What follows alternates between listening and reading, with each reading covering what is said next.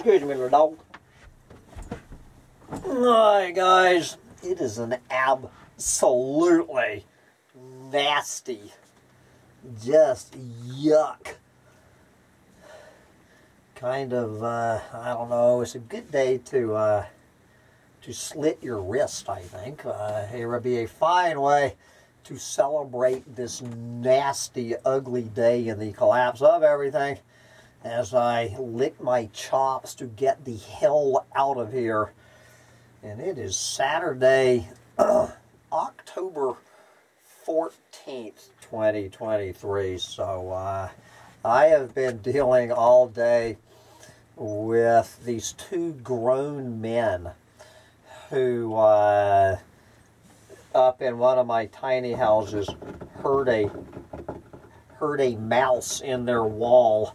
They grabbed all of their stuff, their two dogs, threw all of their stuff in their car and fled in terror into, into the night because they heard a two inch mouse uh, in the wall. You know, when, when I meet people this clueless, uh, you know, trying to think, what are these guys uh, going to do with the collapse of global industrial civilization when a two inch mouse inside a wall sends two grown men fleeing in terror into the night to the safety of a, I don't know, some five star hotel room. So I've been getting quite the laugh out of this. Of course, it cost me $172, but uh, other than that, so uh,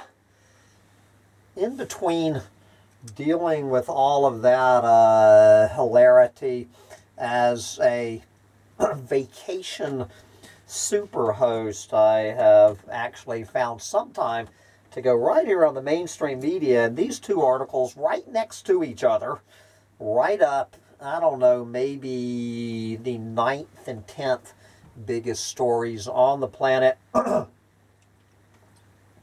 I'm just going to pretty much read these stories, and you can connect the dots between these two stories as the mainstream media chronicles the collapse of everything. And we're going to start right here in our own shithole country with this No Shit Sherlock uh, headline from the good old Associated Press in today's Yahoo News. Oh, this is my old buddy Seth Borenstein.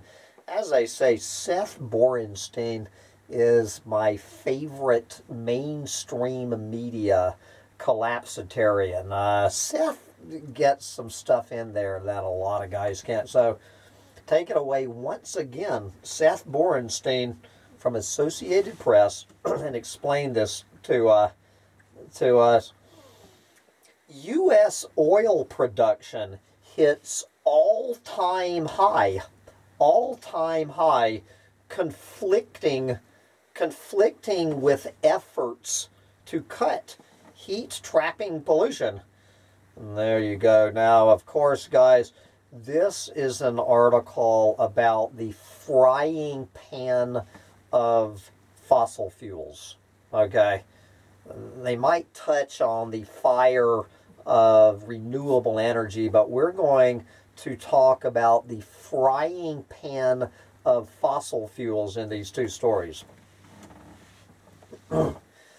United States domestic oil production hit an all-time high last week, contrasting with efforts to slice heat-trapping carbon emissions by the Biden administration and world leaders.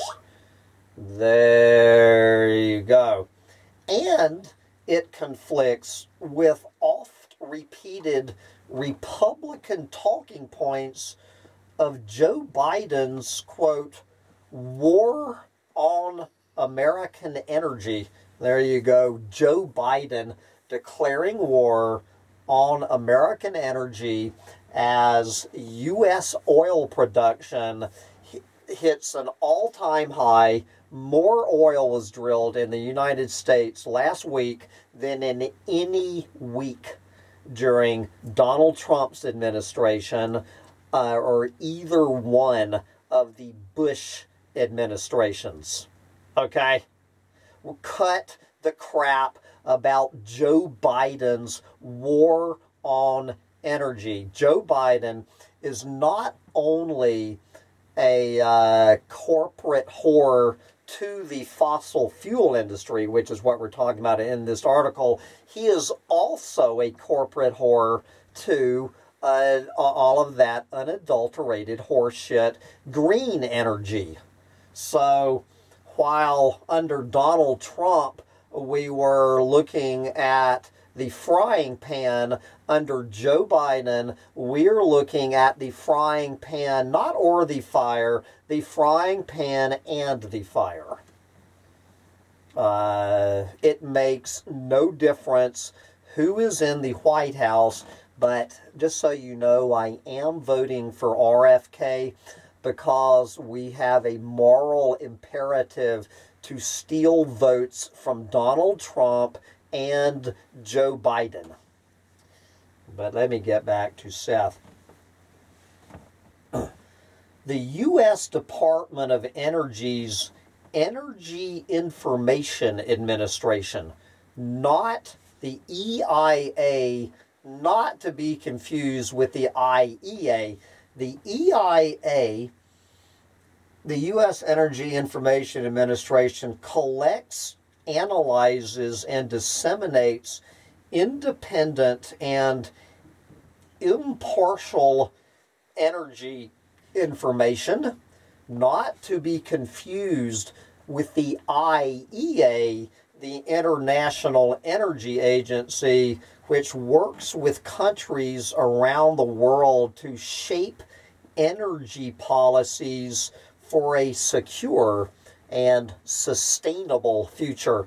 So uh, both the uh, both the well OPEC, as I was talking about, both OPEC and the impartial energy information agency are both talking about how demand and assumedly supply of fossil fuels is going nowhere but up, up, up in 2024 and right on through as far as they can see for the next 20 years at least.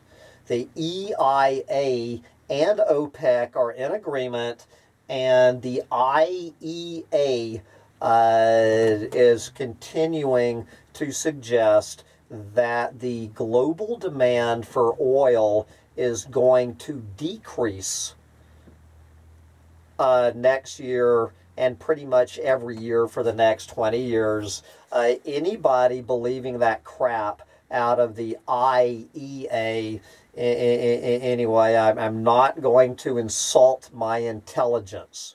If you ever hear shit coming out of the IEA, throw it in the garbage can. Now, of course, the big question is are these planet eaters going to be able to supply the demand for uh, oil and other fossil fuels next year and for the next 20 years? Well, obviously, as of last week, as of last week, the, the planet eaters were having no problem uh, supplying uh, record demand for oil.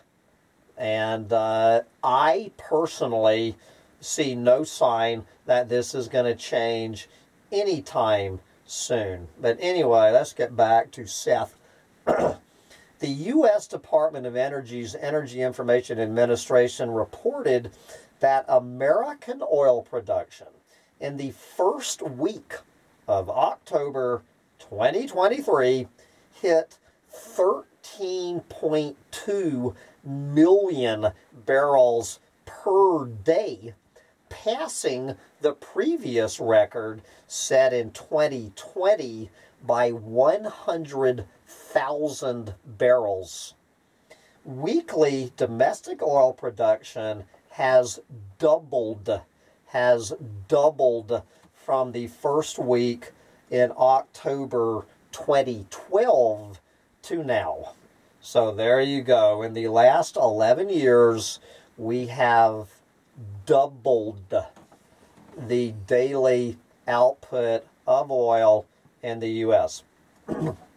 With the United Nations and scientists saying the world needs to cut carbon emissions from burning coal, oil, and natural gas by 43% by 2030 and down to zero or close to it by 2050, several developed countries across the world are dangerously producing more, not less, fossil fuels. Huh? Do you think so? This is climate scientist Bill Hare, CEO of Climate Analytics, which helps track, uh, yeah, which helps track global actions and policies to curb climate change. That must be a pretty, uh, pretty easy job for Bill Hare. Take it away, Bill.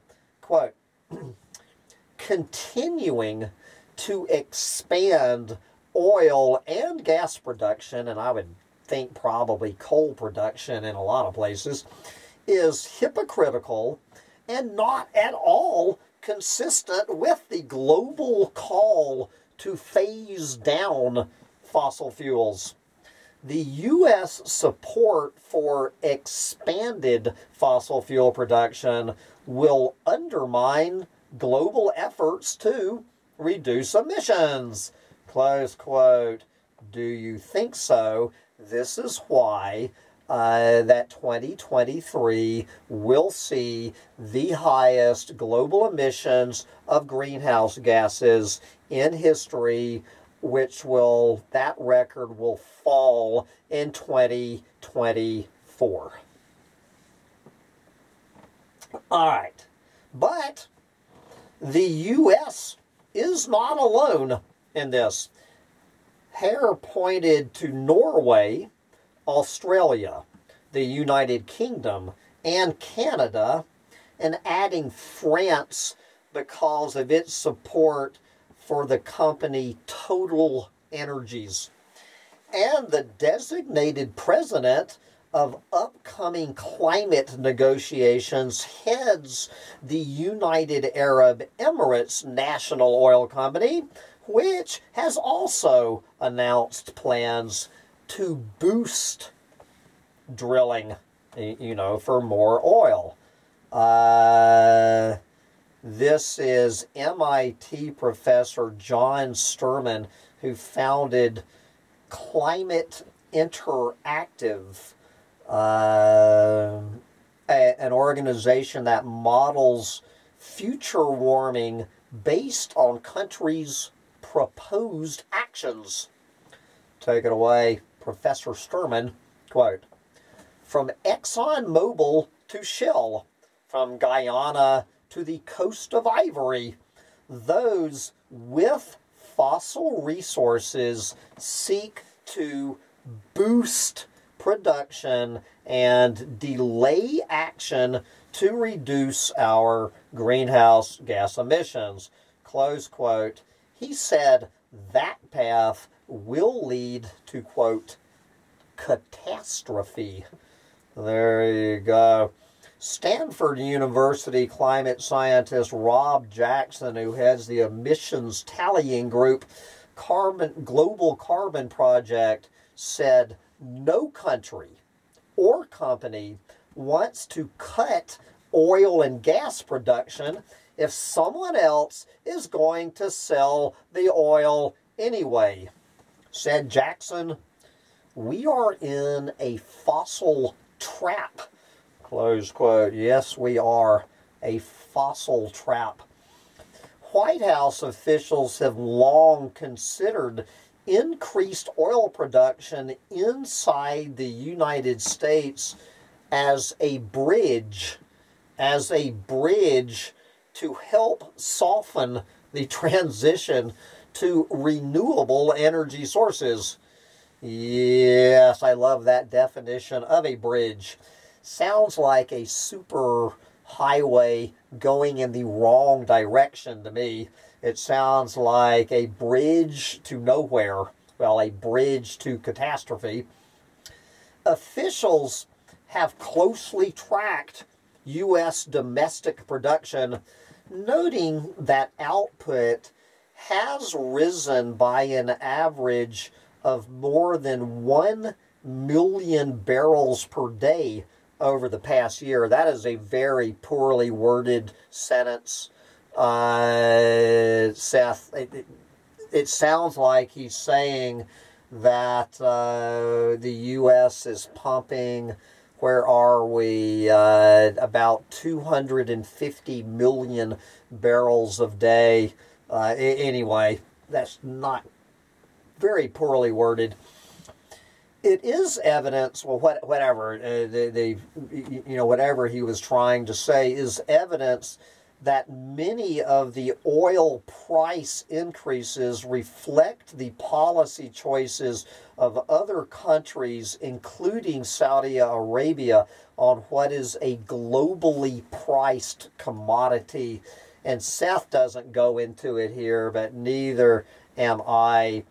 The president of the U.S. has nothing, nothing whatsoever to do with setting the price of oil or a gallon of gas. Joe Biden or Donald Trump or RFK has no more control over the price of oil or a gallon of gas than I do, you do, or Sancho Panza does. If you ever hear any clueless moron Trump tard trying to tell you that it is Joe Biden's fault that the price of gas is where it is.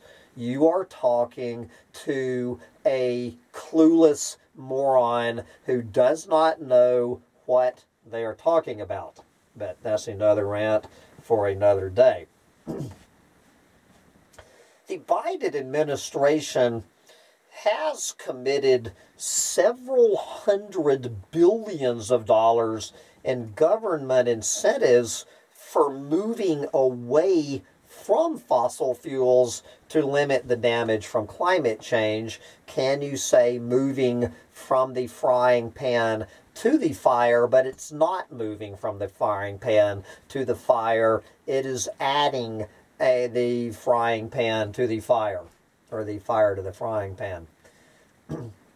Just because, this is back to Seth, uh, uh, this is Samantha Gross, Director of Energy and Energy Security and Climate at the Centrist Brookings Institution, says that just because the United States is increasing oil production, that doesn't mean it won't phase down emissions.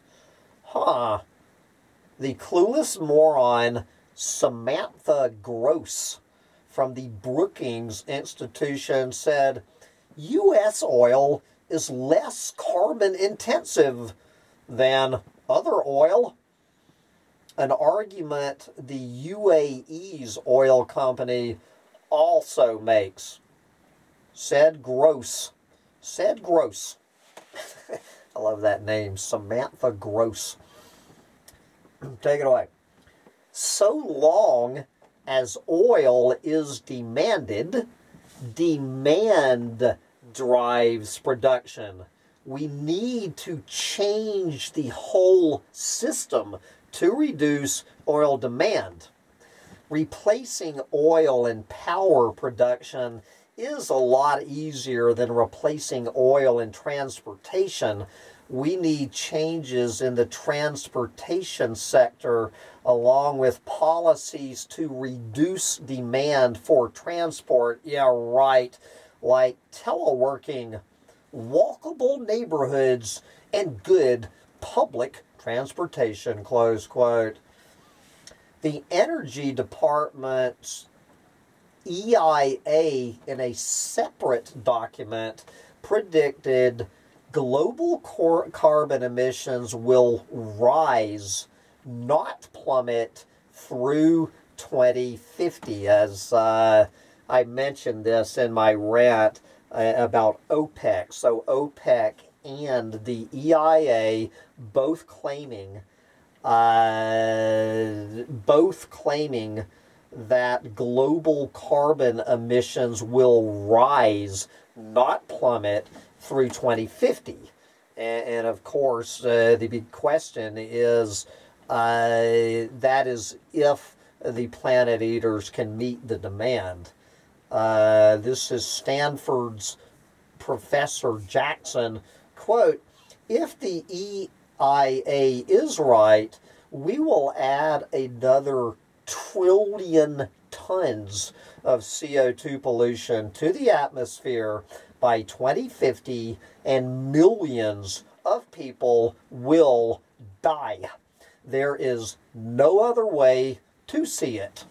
Close quote.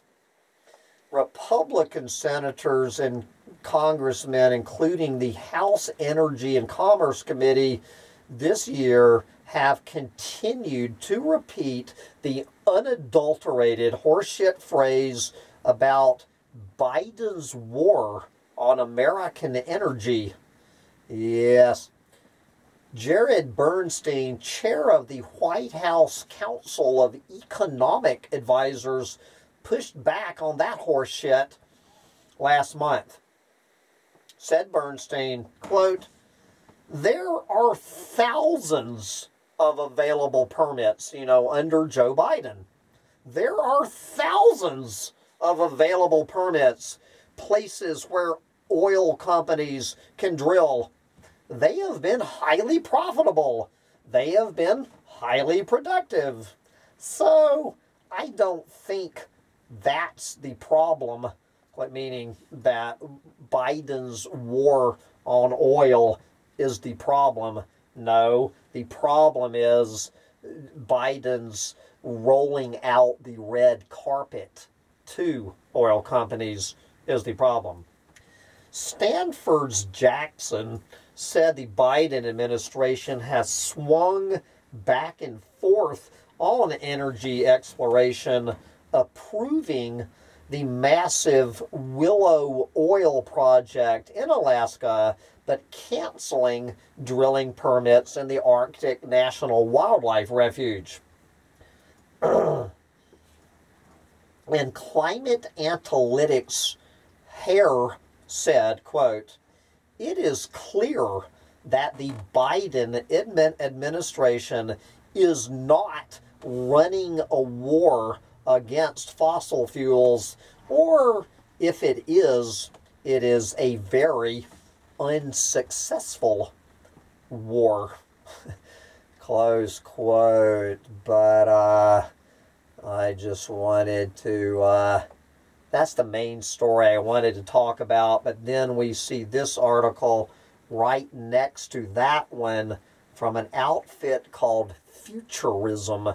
And you can draw your own dots between the uh, the U.S drilling more, producing more oil last week than any week in the history of our country to this one.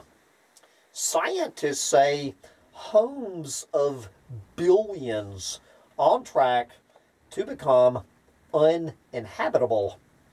As Earth's temperature continues to rise, large amounts of land may soon become uninhabitable and the consequences, scientists say, will be life or death. According to, to a new analysis from researchers at Penn State and Purdue University, don't know if that uh, includes Michael Mann or not. If Earth's temperature climbs beyond one and a half degrees Celsius past pre industrial levels, which would be roughly one more degree from its current temperature, billions of humans across vast swaths of the globe will be subject to heat so extreme that their bodies will no longer be able to naturally cool, leaving them at escalating risk of heat induced illness and death. As heat waves become more common, intense, and longer lasting, quote, the question of breaching thermal limits becomes pressing, reads the paper which was published in the journal PNAS.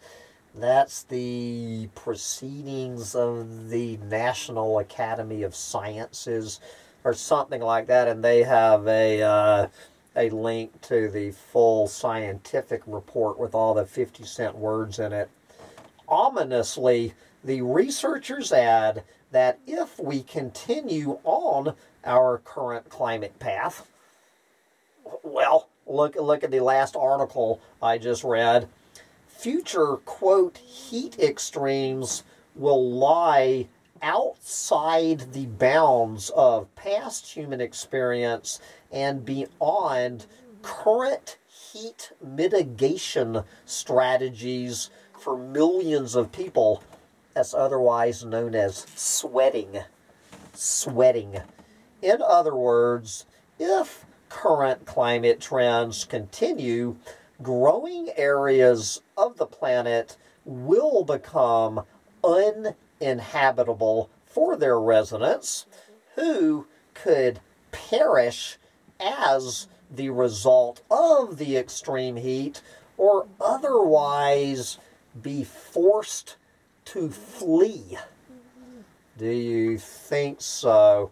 And then, of, of course, what they're talking about here is what uh, we call the wet bulb temperature, where sweating uh, just does not save you uh, from uh, dying. Uh, they talk about that. We've all heard that. Getting back, uh, this is Matthew Huber, a Purdue professor and the director of the university's Institute for a Sustainable Future. Quote, the worst heat stress will occur in regions that are not wealthy and that are expected to experience rapid population growth huh, in the coming decades. As a result, billions of poor people, you know, those having seven kids and then just trying to feed their families, as a result, billions of people who never should be born will suffer, and many could die. Close quote. It is a horrifying prospect, and given that humans around the world are already experiencing the horrifying impacts of global warming induced climate change from fires to floods and more, it is not a difficult future to imagine. There you go.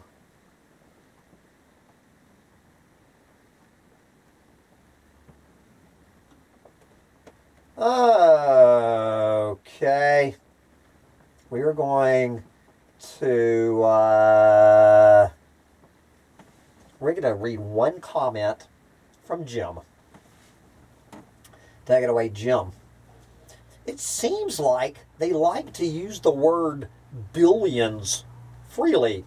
So, the common theme here is population. Many thousands of years ago, people would just move when the climate wouldn't allow them to survive too many people means billions have to live where the climate does not suit them. Solution stop having children. Oh, Jesus. This is real rocket science. Thank you, Jim. Solution stop having children. Stop it! I wonder how many of these clueless morons uh, of breeding age could read this story uh, and, and thousands like it, uh, roll their eyes, and pull their pecker right out of their pants and go have 10 minutes of fun uh, with their little wife or girlfriend with her knickers down. It's not their fault. It's not their fault. These poor people, they're just trying to feed their families their families. They're just trying to feed their families. Don't be so mean to these poor people just trying to feed their families. But speaking of feeding my family, I noticed my little dog, my little dog, says, Pop, I am out of factory farmed chicken and it is time to head to Walmart. So, uh, I can do a little bush meat whacking in the aisles of Walmart and get Sancho Panza a factory farmed chicken so I can feed my family while I still can. Bye, guys. All right, little dog. We're heading to Walmart!